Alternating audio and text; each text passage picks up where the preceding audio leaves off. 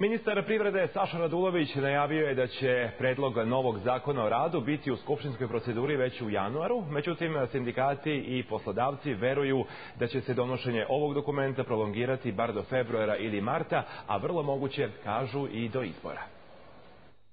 Polemika da li treba donositi novi propis koji će regulisati odnose između poslodavaca i zaposlenih, po svemu sudeći nastavit će se i narednih meseci. Sindikati su predlog dočekali na nož. Tvrde da će njegovim usvajanjem plate zaposlenih biti smanjene od 8 do 15 odsto i zapretili su protestima, ne bude li predlog povučen. Uh, ovakav predlog zakona mi ćemo se maksimalno truditi da ne dođe do usvajanja. Znači, to je prosto uh,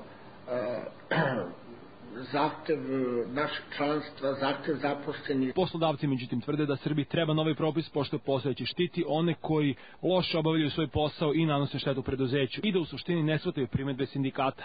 Promene zakona o radu koje su trenutno na stolu, one neće značajnije pogoršati položaj zaposlenih, pre svega u privatnom sektoru, jer taj položaj je i sada veoma težak, prosto zato što se u privatnom sektoru efektivno mnogo više radi za iste ili znatno manje pare nego u javnom sektoru. Zbog ovih veoma zaoštrenih stavova, socijalni dijalog u Srbiji je na vrlo niskom nivou, a propis koji će regulisati odnose poslodavaca i zaposlenih mogao bi da postane i bitan predizborni adut.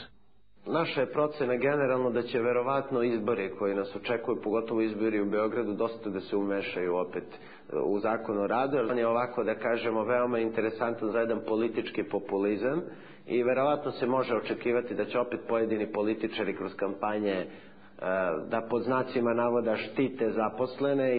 Poslodavci jednostavno zahtevaju mogućnost da brže zapošljavaju, ali i da brže otpuštaju ljude, kao i mogućnost da ih angažuju na nekoliko časova dnevno. Međutim, sindikalci se plaše da bi gazde mogle ovu mogućnost da zloupotrebe. Činjenica je međutim i da država mora da smanji broj zaposlenih, a to je sa sadašnjim propisima nemoguća misija. Milana Tanasijević, Televizija Pink.